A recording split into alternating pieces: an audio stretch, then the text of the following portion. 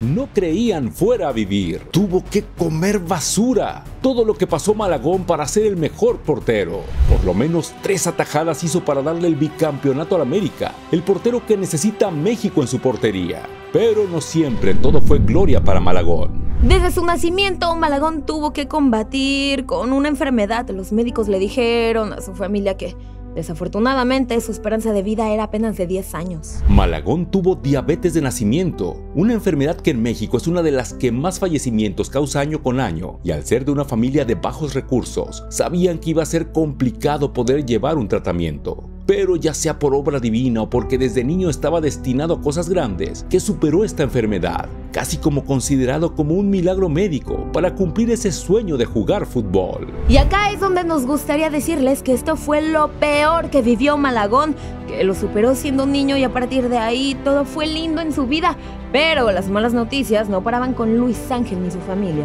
Y es que a pesar de que a Malagón se le veía mucho futuro como futbolista, en las porterías de Zamora se sabía que estaba para cosas grandes. No podían dejar de lado que el portero vivía con muchas carencias. Esto obligó al portero a tener que trabajar y entrenar al mismo tiempo, porque por si fuera poco, su padre sufría parálisis, por lo que el joven Malagón se sacrificaba todo el tiempo para ayudar a su madre.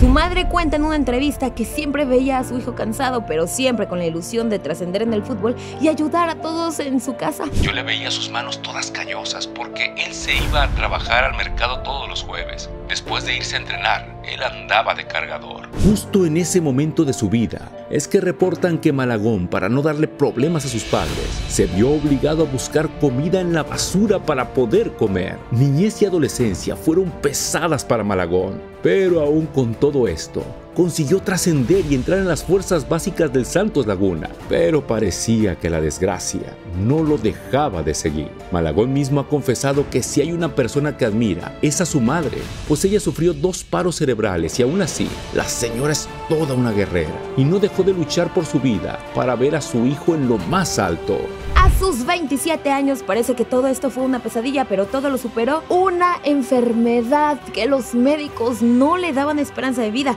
Una vida llena de carencias, pero con la meta siempre de trascender. Bicampeón con el América, siendo el héroe de las Águilas en esta última final contra Cruz Azul y ahora el titular de la selección mexicana. Luis Ángel Malagón no solo se ha convertido en un símbolo de talento y dedicación, sino en una fuente de inspiración para miles de jóvenes que como él sueñan con alcanzar lo imposible. Su historia nos recuerda que con trabajo duro, perseverancia y un corazón lleno de pasión, cualquier sueño, por más grande que sea, puede hacerse realidad. Malagón es sin duda un orgullo para México, un héroe nacido de la perseverancia y el amor por el fútbol.